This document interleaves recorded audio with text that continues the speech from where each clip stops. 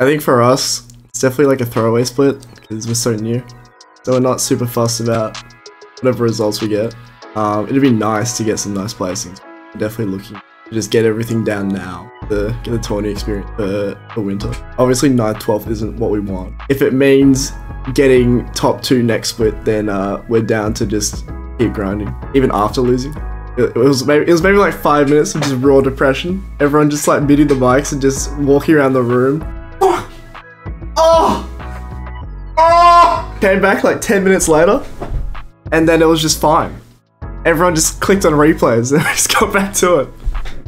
Oh, Jeezy was a wash. Jeezy was easily Yeah. like the greatest wash of all time because it was just like I, I think it was just first series on. No one was really feeling it because we were still working on stuff, and it was just yeah, Jeezy are too refined for that. The uh, Flying Kangaroos one, we sort of brought it back a bit, and we really I think brought it together for the reverse sweep and placeholder. We went down to and it was like, guys, turn on the monitors, plug in plug in the controllers, and then it was fine because we then we just reverse swept and then we're just chilling. Or the former the former players of Direwolves.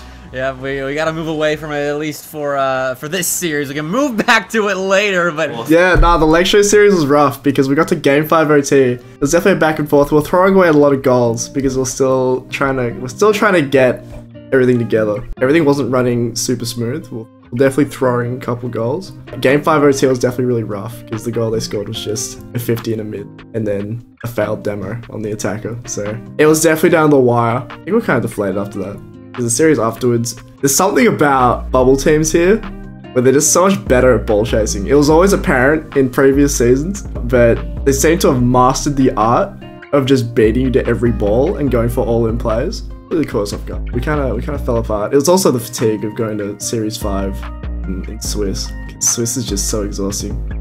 Well, you know, I was looking around. I was just watching YouTube as I do, and someone mentioned the Queso slash Current Moist and their initial run. They didn't make a, They made one top eight in their first split together. It was like 9th, 12th, 9th, 12th, and then one top eight. Split afterwards, they're just winning.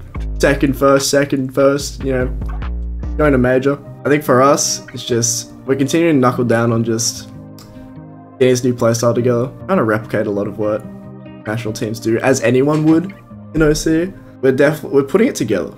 We are putting it together. You know, maybe some better touches, maybe some more hours on the game. That'd help. but uh, yeah, I think just giving it time for everyone to get settled in.